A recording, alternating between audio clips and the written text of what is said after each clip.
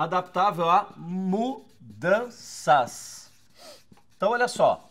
O indivíduo que sabe se adaptar a mudanças, ele naturalmente é realista. Olha aqui. Tem uma característica realista. E ela já se repetiu em várias, né? Realista. Ela já se repetiu em várias outras competências. Aqui também tem um indicador necessidade de liberdade. O cara que é adaptável à mudança e tem a necessidade de liberdade muito alta, olha, olha que interessante aqui. O sujeito que tem a necessidade de liberdade alta, ele tem uma facilidade maior a se adaptar a mudanças. Por quê? Porque o cara que tem a necessidade de liberdade alta, ele lida com mudança o tempo todo. O tempo todo, não existe rotina. É o contrário de rotina. Então o que eu tenho aqui?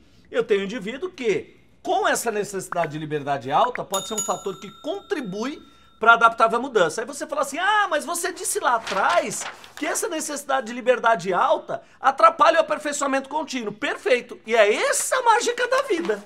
É isso que é interessante. O que está em excesso é positivo para um, mas aquele excesso é negativo para outro. Só que esses dois estão no mesmo modelo. Aí você fala, e agora? O que eu faço? Jogo da ponte? Não, tem alternativa. Você pode andar em cima da ponte, né? E modular a necessidade de liberdade. Modula. Modula ao ponto de fazer assim, peraí, num contexto de mudança, legal, vamos. Solta o freio de mão. Num contexto onde eu preciso me aperfeiçoar, eu preciso domar essa necessidade de liberdade. E o ser humano é o único ser capaz de fazer isso de forma inteligente. De forma totalmente racional. Saber ponderar e lidar com todas essas situações para saber equalizar e dosar o teu comportamento dependendo do contexto no qual ele esteja inserido. Então, muito, muito cuidado com relação a isso. E uma outra competência do adaptável a mudanças é o sujeito multitarefa. Olha só. O cara que é multitarefa se adapta mais rápido a. Ele é mais fácil de se adaptar a mudanças. Por quê?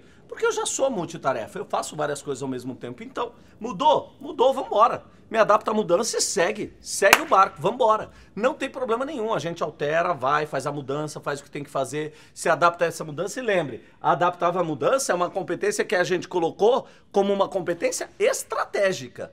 Lembre-se disso, não esqueça. Ela é uma competência estratégica.